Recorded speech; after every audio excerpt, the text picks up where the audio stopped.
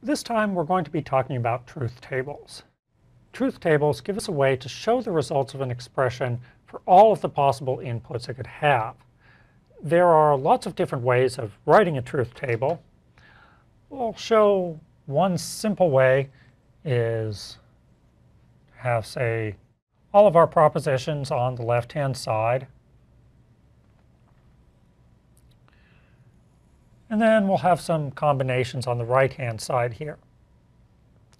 So if I want to do P and Q, well, I have two different options for P and for Q. So I will write down all of those possible options.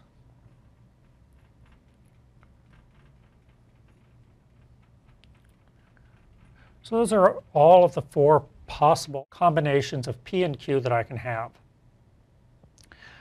For the AND operation, I know that the AND is only going to be true if both P and Q are true. So this first case where P and Q are true, I will write down true. The second case, P is true, but Q is false. So this is false.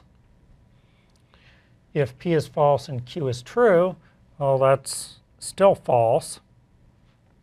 And if both P and Q are false, then and of both of those is false.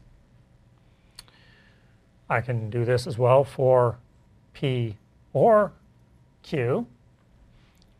So P is Q and Q is true, so P or Q is true. P is true, but Q is false, so P or Q will still be true. When P is false and Q is true, well, Q is still true, so the OR of both of those is true. But when both P and Q are false, the OR is false. So I can build these for any of the obvious expressions that I have. I can also use this when working with more complex expressions. So I can start combining expressions.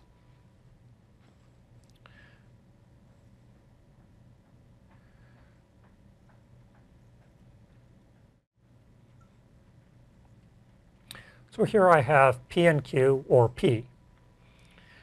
So in this case, one of my inputs will be the P and Q that I've got over here, and the other input to this OR is P.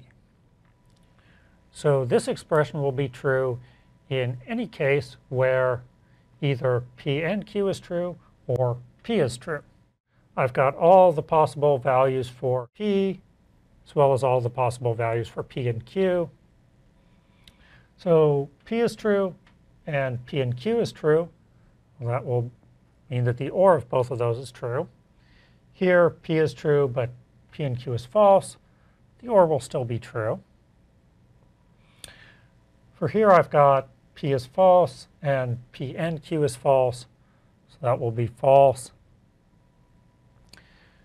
Or I've got false or false is false. So I can build these up and make lots of complex propositions and express what their actual outputs are just by finding some building blocks. It can also help me to show when two expressions are equivalent. So two expressions will be logically equivalent when for all of their possible inputs, the outputs match. So in this case, this TTFF, turns out it matches are inputs for just P. So this expression is logically equivalent to just P.